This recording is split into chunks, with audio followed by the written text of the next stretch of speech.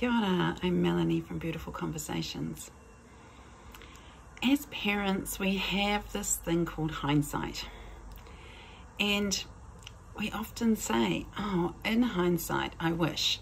And when we're doing that, we're learning a lot by reflecting on our past.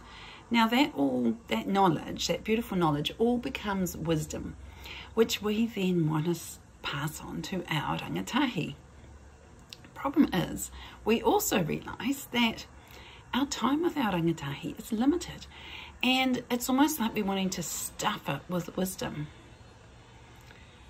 But what if we just took a deep breath and trusted that they would find the wisdom they need when they need it and realise that what is more important is actually just spending time hanging with them. Because when they think about us and when they remember us, they're going to remember how we made them feel.